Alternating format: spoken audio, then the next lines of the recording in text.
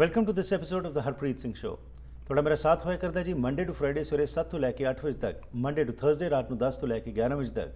ਅਤੇ ਸੈਟਰਡੇ ਨੂੰ ਦੋ ਵਾਰੀ ਸਾਂਝ ਪਾਇਆ ਕਰਨੇ ਆ, ਦੁਪਹਿਰ 2 ਤੋਂ ਲੈ ਕੇ 3 ਵਜੇ ਤੱਕ ਅਤੇ ਰਾਤ 8 ਤੋਂ ਲੈ ਕੇ 9 ਵਜੇ ਤੱਕ। ਇਸ ਪ੍ਰੋਗਰਾਮ ਦਾ ਮਕਸਦ ਹੁੰਦਾ ਤੁਹਾਨੂੰ ਐਜੂਕੇਟ ਕਰਨਾ ਇਨਫੋਰਮ ਕਰਨਾ ਤਾਂ ਕਿ ਤੁਸੀਂ ਇੰਪਾਰ ਹੋ ਸਕੋ। ਬਹੁਤ ਸਾਰੇ ਵਧੀਆ ਪ੍ਰੋਗਰਾਮਸ ਚਲਾਏ ਜਾ ਰਹੇ ਨੇ ਤੇ ਉਹਨਾਂ ਵਿੱਚੋਂ ਇੱਕ ਹੈ ਆਈਸੀ ਇੰਪੈਕਟਸ ਇਸ ਪ੍ਰੋਗਰਾਮ ਦੇ ਜੋ ਡਾਇਰੈਕਟਰ ਹਨ, ਮਿਸਟਰ ਡਾਕਟਰ ਨੇਮੀ ਬਹਿੰਤੀਆ, ਇਹ ਅੱਜ ਸਾਡੇ ਕੋਲ ਸਟੂਡੀਓ ਦੇ ਵਿੱਚ ਆਏ ਹੋਏ ਨੇ। ਯੂਨੀਵਰਸਿਟੀ ਆਫ ਬ੍ਰਿਟਿਸ਼ ਕੋਲੰਬੀਆ ਵਿੱਚ ਇਹ ਪ੍ਰੋਫੈਸਰ ਨੇ। ਇਹ ਜਾਣਕਾਰੀ ਦੇਣਗੇ ਕਿ ਇਹ ਪ੍ਰੋਗਰਾਮ ਕੀ ਹੈ, ਇਸ ਦੇ ਕੀ ਬੈਨੀਫਿਟਸ ਮਿਲ ਰਹੇ ਨੇ ਤੇ ਕਿਸ ਤਰ੍ਹਾਂ ਆਮ ਲੋਕ ਜਿਹੜੇ ਨੇ ਉਹ ਵੀ ਇਸ ਦਾ ਹਿੱਸਾ ਬਣ ਸਕਦੇ ਨੇ।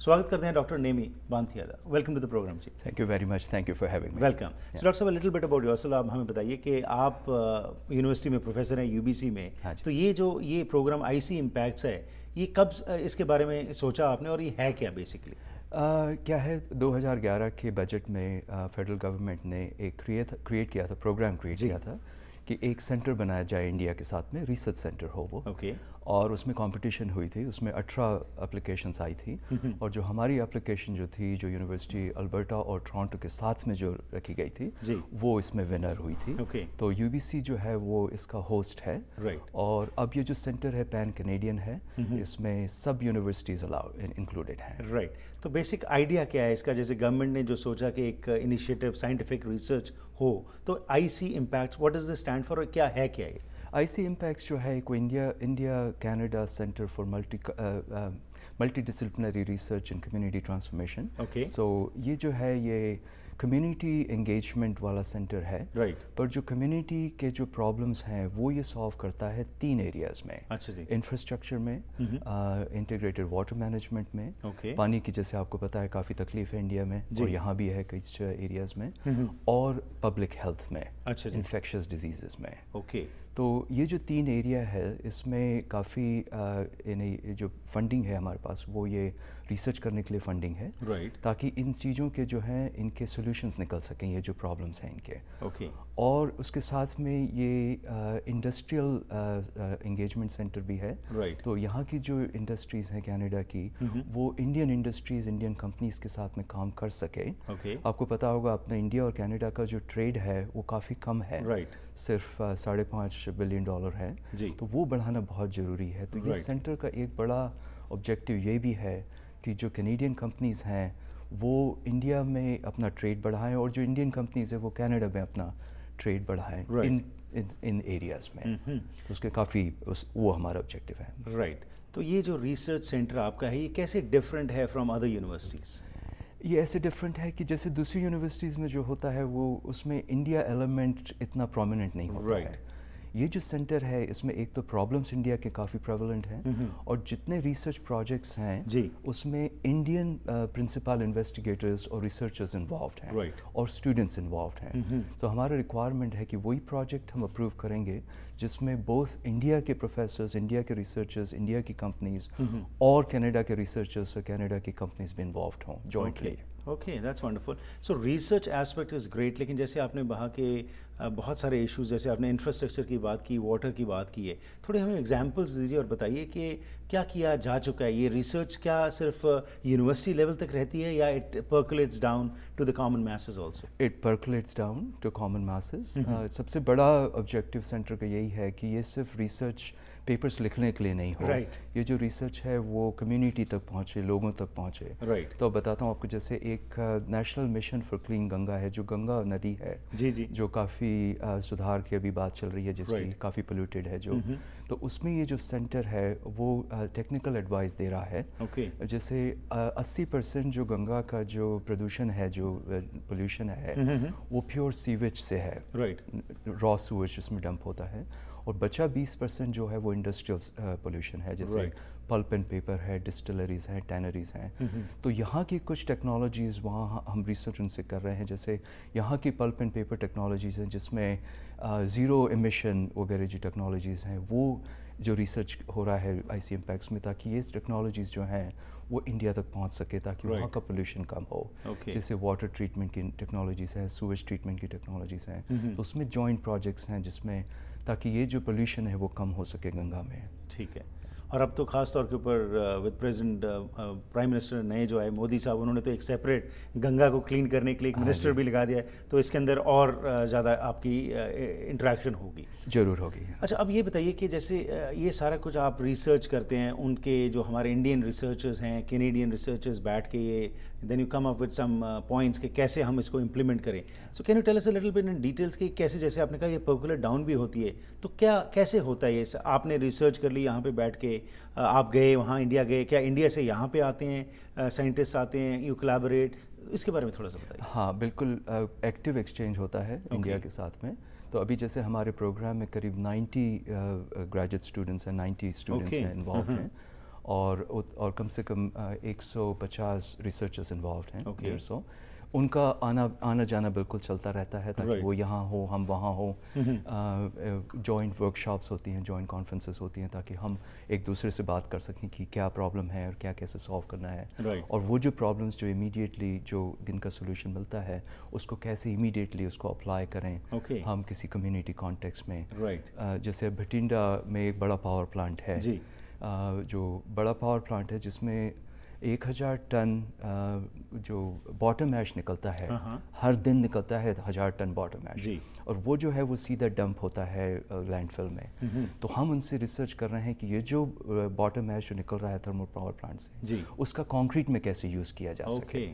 तो ये जो है उनकी ऑलरेडी सोल्यूशंस निकल चुके हैं ताकि हम काफ़ी उसके ऊपर उसका केमिकल एनालिसिस कर रहे हैं कि कैसे किस चीज़ में इसका यूज़ किया जा सके right. और वो ऑलरेडी हो चुका है उसका यू you नो know, जो शुरुआत होनी चाहिए right. तो उस हिसाब से जितनी जल्दी आप इनका सोल्यूशन अप्लाई किया जा सके उतना जल्दी right. हो सकता है। अच्छा पानी की जो आपने बात की ये बड़ी मेजर प्रॉब्लम है। हिंदुस्तान में इस समय ये बड़ी it's a major crisis specially in Punjab also what we are finding the water table is going down और जो पानी का आपने बात की उसके बारे में बताइए उसके अंदर भी आपने क्योंकि आपका एक मेजर फोकस है इस तरफ़ भी उसकी तरफ़ क्या किया जा चुका है अब तक?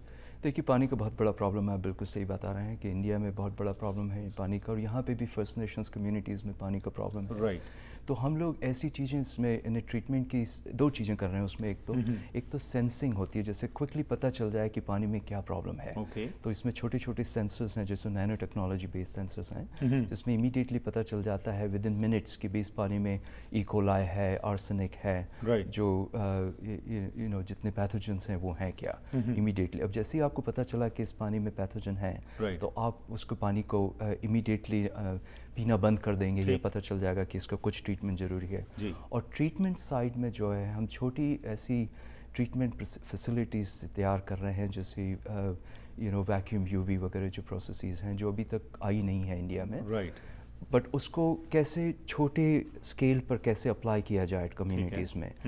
और उसमें पावर कम लगे। पावर का भी बड़ा प्रॉब्लम है वैसे आप जानते हैं इंडिया right. में पावर अनस्टेबल होता है।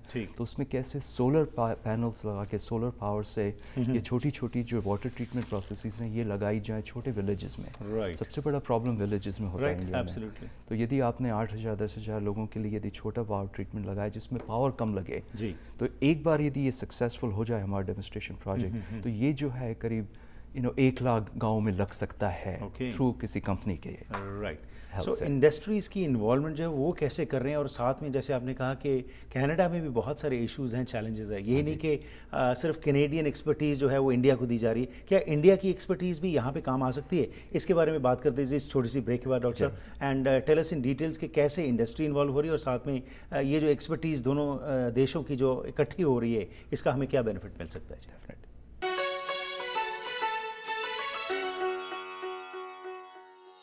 ਡਾਕਟਰ ਨੇਮੀ ਬਾਂਤੀਆ ਜਿਹੜੇ ਕਿ ਸਾਇੰਟਿਫਿਕ ਡਾਇਰੈਕਟਰ ਹਨ ਆਈਸੀ ਇੰਪੈਕਟਸ ਦੇ ਉਹ ਸਾਨੂੰ ਅੱਜ ਦੱਸ ਰਹੇ ਨੇ ਕਿ ਕਿਸ ਤਰੀਕੇ ਨਾਲ ਕੈਨੇਡੀਅਨ ਸਰਕਾਰ ਤੇ ਹਿੰਦੁਸਤਾਨ ਦੀ ਸਰਕਾਰ ਨੇ ਇਹ ਇਕੱਠੇ ਹੋ ਕੇ ਇੱਕ ਇਨੀਸ਼ੀਏਟਿਵ ਲਿਆ ਜਿਸ ਦਾ ਕਿ ਬੈਨੀਫਿਟ ਆਮ ਜਨਤਾ ਤੱਕ ਪਹੁੰਚਣ ਲਈ ਇਹ ਤਤਪਰ ਹਨ आओ और जानकारी लेने डॉक्टर नेमी बांथिया तो सो डॉक्टर साहब ब्रेक से पहले जो बात चल रही थी कि इंडस्ट्रीज़ को कैसे आप इन्वॉल्व कर रहे हैं और सेकेंडली जैसे आपने कहा थी कि कनाडा में भी बहुत सारे इश्यूज है फर्स्ट नेशंस की आपने बात की थी तो यहाँ की रिसर्च क्या सिर्फ़ इंडिया में ही आप ये सारी रिसर्च को लागू करेंगे या यहाँ पे भी करेंगे? ये दोनों सवाल का बताइए। हाँ जी पहले तो इंडस्ट्री का जो इन्वॉल्वमेंट है वो बहुत एक्टिव है। जी। हमारे जितने प्रोजेक्ट्स यहाँ फंड हुए हैं उसमें इंडस्ट्री का इन्वॉल्वमेंट ज़रूरी है। ओके तो जैसे इंडिया की रिलायंस इंडस्ट्रीज़ हैं विप्रो है टाटा कंसल्टिंग सर्विसेज़ हैं वो सब इसमें पार्टनर हैं। Okay okay. और यहाँ से जो कंपनीज़ जैसे स्टैंड टेक करके कंपनी है यहाँ बड़ी कंपनी है।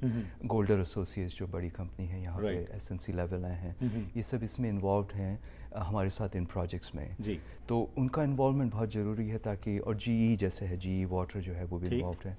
तो जैसे इनका इन्वॉलमेंट ज़रूरी है ताकि जो रिसर्च की फाइंडिंग्स हों वो डायरेक्टली यहाँ भी अप्लाई हो सके okay. और इंडिया में भी अप्लाई हो सके। ठीक। अब इंडिया की एक्सपर्टीज़ की जो बात है मैं as a C of the project I think India से उतना ही सीखा जा सकता है जितना कनाडा से इंडिया सीख सकता है। Right. और कई ऐसी चीज़ें इंडिया में काफ़ी एडवांस्ड है। अब जैसे स्पेस रिसर्च इंडिया Yeah. वो बहुत एडवांस्ड है। जी। अब मैं आपको छोटा सा एग्ज़ाम्पल देता हूँ। इंफ्रास्ट्रक्चर में इंडिया में जो हेरिटेज स्ट्रक्चर्स हैं उनको हम करीब तीन हज़ार साल से मेंटेन कर रहे हैं। एब्सोल्युटली यहाँ जो अपना है सबसे पुराना हेरिटेज स्ट्रक्चर है जो कनाडा का पार्लियामेंट बिल्डिंग जी, है जी, जी। वो सिर्फ़ डेढ़ सौ साल पुराना That's है right. देखिए। तो अब उनके पास इतना एक्सपीरियंस है ओल्ड स्ट्रक्चर्स को मेंटेन करने का हेरिटेज स्ट्रक्चर्स को मेंटेन Right. करने का। और वो ऐसी ऐसी चीज़ें हमको यहाँ सिखा रहे हैं कि भाई ये जो पुराने स्ट्रक्चर्स हैं इनको कैसे मेंटेन किया जाए। राइट पानी का है जैसे वाटर का जो ट्रीटमेंट है they are also very advanced in that in that sense actually so ये it's a real partnership I don't see this as a aid or, Right. or helping India. I see that as India helping Canada, Canada helping India. जो दोनों companies जब एक साथ में काम करेंगी तो हो सकता है कि और ये होना चाहिए कि जो इंडियन कंपनीज़ हैं उनको भी कनाडा में उतना ही ट्रेड अपॉर्चुनिटीज़ और बिज़नेस अपॉर्चुनिटीज़ मिले Right. जितनी कैनेडियन कंपनीज़ को एब्सोल्युटली। यही मेरा सवाल था अगला कि जैसे हम देखते हैं कि बड़ी कंपनीज़ के साथ तो रिसर्च पैक्ट्स हो जाते हैं या कोई ना कोई यू नो जाके बातचीत हो जाती है but how is all this going to benefit the middle मैं जो कहूँ कि जो लोग हैं जो छोटे बिज़नेस करते हाँ हैं या जो छोटा रिसर्च लेवल तक बेस्ड हैं how you trying to involve the community in this very good question. We are holding number of professional training workshops in Okay. India. तो अभी गए थे हम बेंगलोर में बड़ा वर्कशॉप किया जिसमें करीब 60 लोग थे अच्छा जी तो 60 लोगों को हमने जो एडवांस टेक्निक्स हैं जी। ब्रिजेस को स्ट्रेंथन करने की वो समझाया कि नए मटेरियल्स कैसे हैं Right. किस टाइप से बिज़नेस ब्रिजेस को स्ट्रेंथन किया जा सकता है तो इस टाइप के जो प्रोग्राम्स इस टाइप्स के जो वर्कशॉप्स हैं कॉन्फ्रेंसेस हैं वो बहुत ज़रूरी है और इसमें जितने आते हैं वो सब स्मॉल एंड मीडियम एंटरप्राइजेस के लोग आते हैं। Right. ताकि वो देख सकें कि कई नई चीज़ें क्या हैं ताकि वो भी इन्वॉल्व हो सकें। राइट और यहाँ पे इंडो कैनेडियंस जो कनाडा में रहते हैं वो उनको इन्वॉल्व करने के लिए क्या किया जा क्या है क्या कम्युनिटी एट लार्ज इन्वॉल्व हो सकती है इस प्रोजेक्ट में? डेफिनेटली हम सबको आवेदन देते हैं सबको आपको इनविटेशन है कि icimpacts.com पर जाइए। जी। वहाँ पर आपको सब इन्फॉर्मेशन मिलेगी।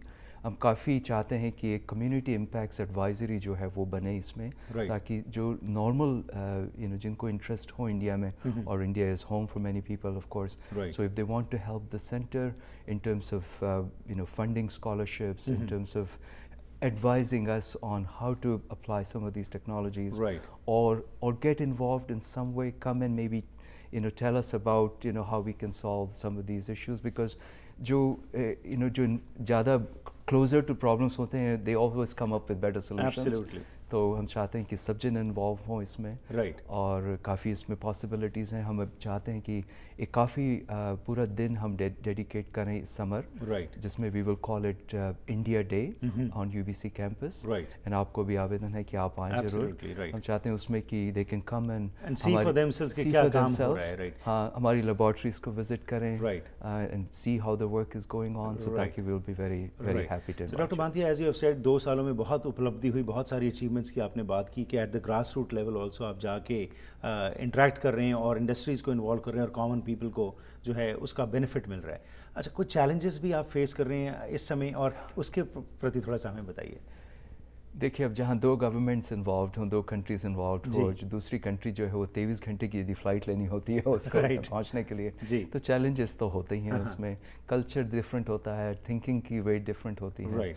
Government process are different landscape is different but you try to understand और मैं इंडिया से हूँ तो it's easier